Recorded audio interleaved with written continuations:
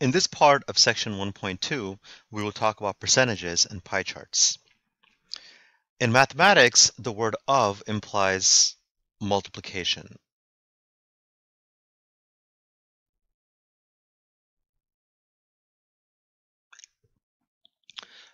Recall, to convert uh, from a percent to a decimal, we can either divide by 100 or you can move the decimal to, to the left twice. To convert from a decimal to a percent, we can either multiply by 100 or we can move the decimal to the right twice. Here are some examples. 435 people take a survey. 68% of the respondents claim they have had a supernatural experience. Approximately how many people claim that they have had a supernatural experience? Now let's think about this. 68% of all the respondents. Now, how many respondents do we have? We have 435 respondents. The word of implies multiplication.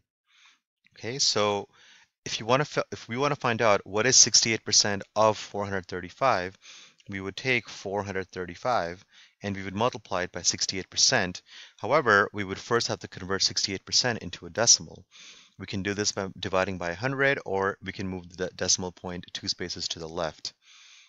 So if you take 68%, move the decimal two spaces to the left, that will give you 0.68 or 0.68.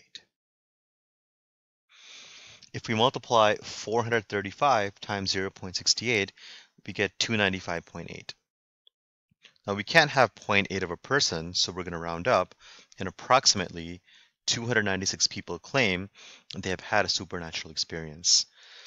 So when we want a percentage, percentage of something, we would multiply the percent in decimal form times the total. The second example, please try by yourself, and we will go over this in class. Among 435 people who took a survey, 48 claim that they have seen a ghost. Now we want to find out what percentage of respondents claim to have seen a ghost? Okay, so we have 48 people out of a total of 435. So to figure out the percentage, we would take the number of people and divide it by the total, 48 out of 435. So 48 divided by 435, this will give us 0.11034. But we want to find the percentage.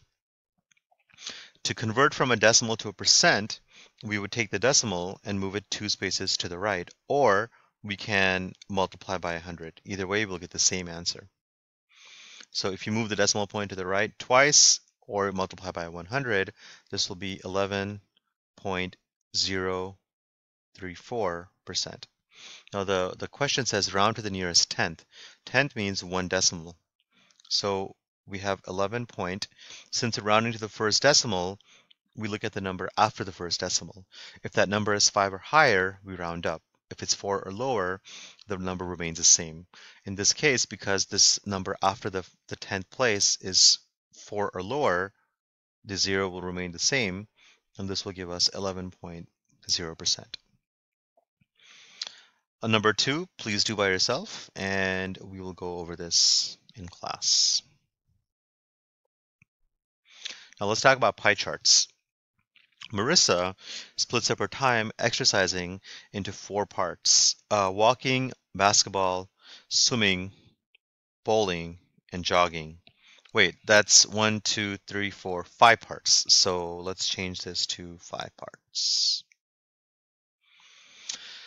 Okay, um, if Marissa exercised a total of 180 minutes last week, how many minutes did she spend jogging? Okay, so the total is 180 minutes. Out of that 180 minutes, 15% is spent jogging. So what's 15% of 180? Remember the word of implies multiplication. We would take the total number of minutes that she exercised, which is 180. Of that, 15% she spent jogging.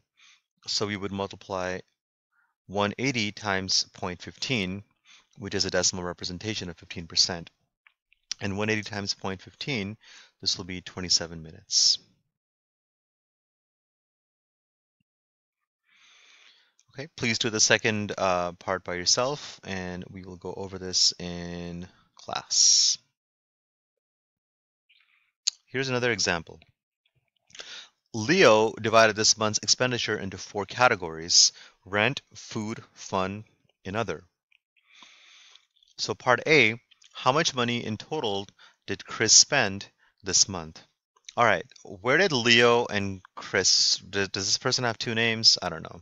Let's change this to Leo. How much money in total did Leo spend this month? Okay, so Leo spent a total of 244 plus 306 plus 367 plus 183.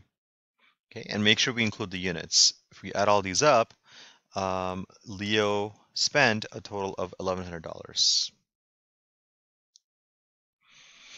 Okay, when we think about percentages, we do want to we would do want to consider the total.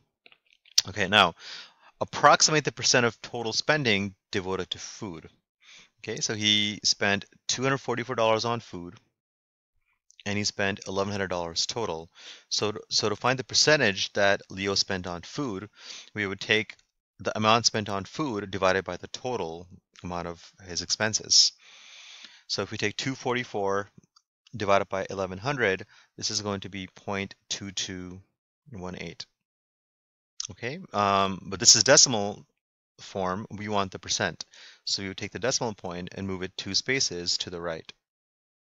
Or we could simply multiply by 100. Either way, we would get 22.18%. Now this says round to the nearest percent. That means we want to round to um, the ones place. The number after the one pl ones place is a 1, this number here. Since that's 4 or lower, we would keep this at 22%.